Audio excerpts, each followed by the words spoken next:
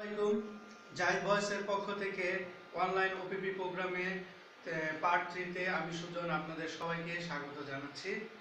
আশা করি আপনারা সবাই ভালো আছেন।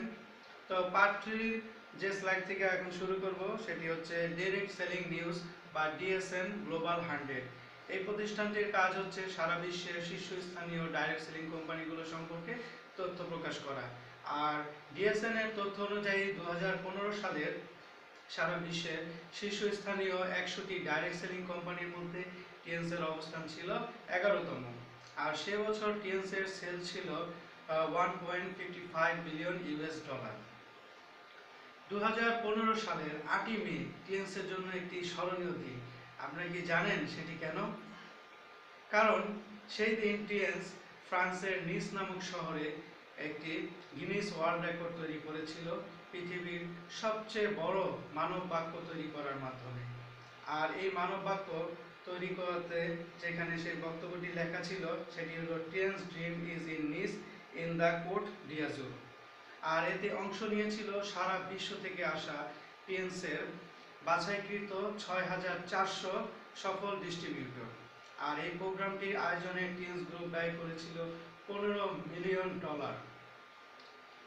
আর এই এই ঘটনাটি তৎকালীন মিডিয়াগুলোতে দারুণ একটি প্রচার করেছিল যে একটি কোম্পানি তার নিজস্ব খরচে সারা বিশ্ব থেকে তার ছয় হাজার চারশো ডিস্ট্রিবিউটরদেরকে ফ্রান্সের একটি এক্সপেন্সিভ শহরে ভ্রমণে নিয়ে আসতে পারাটা ছিল একটি বড় ঘটনা। আর সেই সাথে তাদেরকে দিয়ে যখন একটি গিনিস ওয়ার্ল্ড রেকর্ড তৈরি হয়, সেটি ছিল আরেকটি বড় ঘটনা। যার ফলে তখন এই বিষয়টি বিশ্বের বড় বড় যে সমস্ত media CNN BBC Al Jazeera এই সমস্ত মিডিয়াতে ব্যাপক প্রচার পায়। তার ধারাবাহিকতায় বাংলাদেশেরও বেশ কিছু প্রচারের মাধ্যমে এই খবরটি চলে আসে। এখানে উল্লেখ্য যে প্রথম আলোর ভিতরের পাতার ফিচারে আছে যে Ripley's believe it or not সেখানে টিএস গ্রুপের সম্মানিত চেয়ারম্যান মিস্টার লিজন ইমানকে দারুণ মানুষ হিসাবে আখ্যায়িত করা হয়েছে এবং সেখানে একটি কথা লেখা রয়েছে দু সালের মে মাসে TNS group company chairman mister Li Jinyuan তার ছয় হাজার চারশো কর্মীকে নিজ খরচে ফ্রান্সে ছুটি কাটাতে পাঠিয়েছিলেন। তো এই এই টিএনসের কোম্পানির এই একটি প্রমোশনাল প্যাকেজের আওতায় প্রতি বছর এই ধরনের বিদেশ ভ্রমণের সুযোগ থাকে। তার ধারাবাহিকতায় অনেকটা এই ধরনের একটি ট্যুর শিডিউল করা হয়েছে এবছরের নভেম্বর মাসে ইংল্যান্ডের রাজধানী লন্ডনে। যারা টিমস ডিস্ট্রিবিউটর আছেন, তাদের জন্য এই সুযোগ তো রয়েছে। আর যারা সম্প্রতি টিএমস এর ডিস্ট্রিবিউটর হবেন, তাদের জন্য সমানভাবে এই সুযোগটি রয়েছে। এবং আমরা আশা করব আমাদের দেশ থেকে প্রচুর সংখ্যক ডিস্ট্রিবিউটর সেখানে উপস্থিত হবেন। তো টিএনস শুধু বিজনেসই করে না টিএনস এর রয়েছে একটি মানবিক দিকও, আর সেটি হচ্ছে টিএনস তার গ্লোবাল রেসপন্সিবিলিটির আওতায় সারা বিশ্বের বিভিন্ন দুর্যোগপূর্ণ এলাকায় এবং আত্মমানবতার সেবায় চ্যারিটি করে থাকে। টিএনস এ পর্যন্ত one point five billion dollar charity করেছে বিভিন্ন দেশে। তো আমাদের আলোচনার দ্বিতীয় বিষয়বস্তু হচ্ছে প্রোডাক্ট টিএনস যেহেতু হেলথ প্রোডাক্ট নিয়ে কাজ করছে, তাই আমরা আলোচনার শুরুতে হেলথ নিয়ে কিছু কথা বলব। তো হেলথ নিয়ে কথা বলতে গেলে যদি আমি প্রশ্ন করি আপনাদেরকে যে হেলথ বলতে আমরা কি বুঝি বা হেলথ কাকে বলে? তো দেখা যাবে আমাদের অনেকেই আমরা এই ব্যাপারটি নিজেদের মতো করে উত্তর দিব। চলুন, এই বিষয়ে একজনের উত্তর আমরা জেনে নিই। তিনি হলেন কে? তিনি হলেন মিস্টার হু। আপনারা কি চেনেন মিস্টার হুকে মিস্টার হু হচ্ছেন ডাব্লিউএইচও ডাব্লিউএইচও হু, অর্থাৎ ওয়ার্ল্ড হেলথ অর্গানাইজেশন বিশ্ব স্বাস্থ্য সংস্থা। বিশ্ব স্বাস্থ্য সংস্থার মতে, একটি মানুষকে সুস্থ থাকতে হলে তার চারটি বিষয় অবশ্যই থাকা জরুরি। সেটি হচ্ছে শারীরিক, মানসিক, আর্থিক এবং সামাজিক। এই চারটি দিক দিয়ে একটি মানুষ যখন সুস্থ তখন তাকে একজন সুস্থ ব্যক্তি হিসাবে বলা যায়। তো এবং এই ব্যক্তির গড় আয়ু হবে একশো বিশ বছর। তো ব্যাপারটিকে যদি আমাদের দেশের প্রেক্ষাপটে চিন্তা করি, তাহলে দেখা যাবে যে আমাদের দেশের মানুষ যারা আমরা আছি, আমরা কেউ যদি শারীরিকভাবে সুস্থ থাকি, তাহলে দেখা যাবে কোনো না কোনোভাবে আমরা মানসিকভাবে অসুস্থ অথবা আর্থিক সামাজিকভাবে আমরা কোনো সমস্যায় আছি। অর্থাৎ কোনো না কোনো তারতম্য থাকবেই। যার ফলে কি হচ্ছে? এইটার এফেক্টটা পড়ছে আমাদের স্বাস্থ্যের উপরে। এবং আমাদের যে গড় আয়ু, সেটি এখন দাঁড়াচ্ছে পঁয়ষট্টি থেকে সত্তর বছরে। শুধু তাই নয়, এর সাথে আরও কিছু বিষয় যুক্ত রয়েছে, যেমন খাদ্য, পানি, বাতাস এবং সামাজিক প্রেক্ষাপট বা সামাজিক অবস্থা। যদি পানির বিষয়ে বলি, তাহলে দেখা যায় আমাদের দেশের যে আমরা বিশুদ্ধ পানি আমরা ব্যবহার করি। আমাদের দেশের অধিকাংশ মানুষই কিন্তু সেই বিশুদ্ধ পানির আওতার বাহিরে। বিশেষ করে দেখা যায় যে টিউবওয়েলের পানি, সেখানেও রয়েছে আর্সেনিক আর প্রাকৃতিক জলাধার যেগুলো আছে, নদী, নালা, খাল, বিল, সেগুলো এখন আসলে সেরকম বিশুদ্ধ পানির ব্যবস্থা নেই, সেগুলো নানানভাবে দূষিত হয়ে গেছে। আর এই দূষিত পানি পান করার কারণে নানান রকম পানিবাহিত রোগে আমরা আক্রান্ত হচ্ছি। আর আমাদের বাতাস, আমাদের গ্রামাঞ্চলের বাতাস তুলনামূলকভাবে একটু ভালো হলেও দেখা যায় যে আমাদের শহরাঞ্চলের বাতাস সত্যি খুবই এই দূষিত।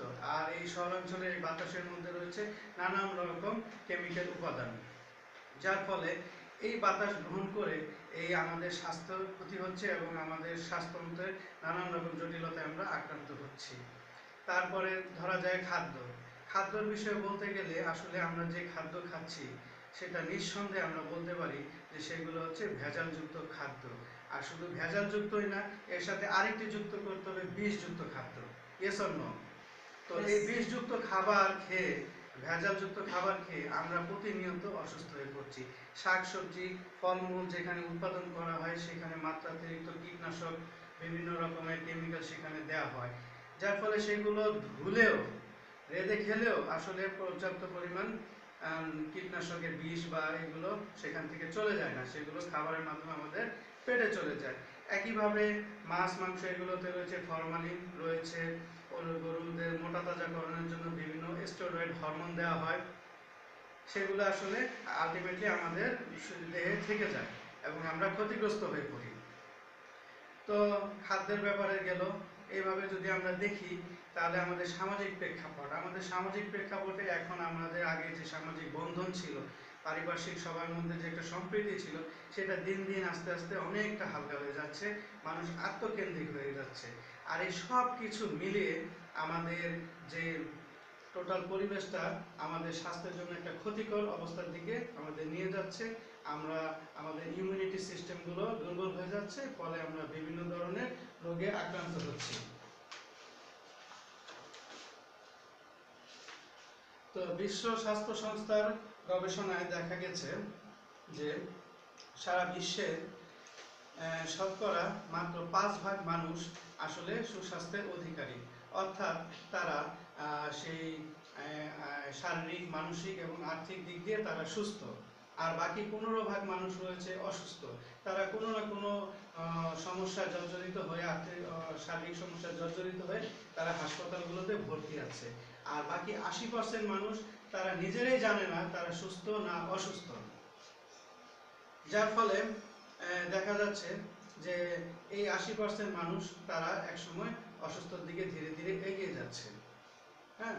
তো এখন যদি আমি প্রশ্ন করি, এই যে পনেরো পার্সেন্ট মানুষ যারা হাসপাতালে চিকিৎসাধীন অবস্থায় রয়েছে, তারা কি এক সময় সুস্থ ছিল না? তারাও এক সময় সুস্থ ছিল।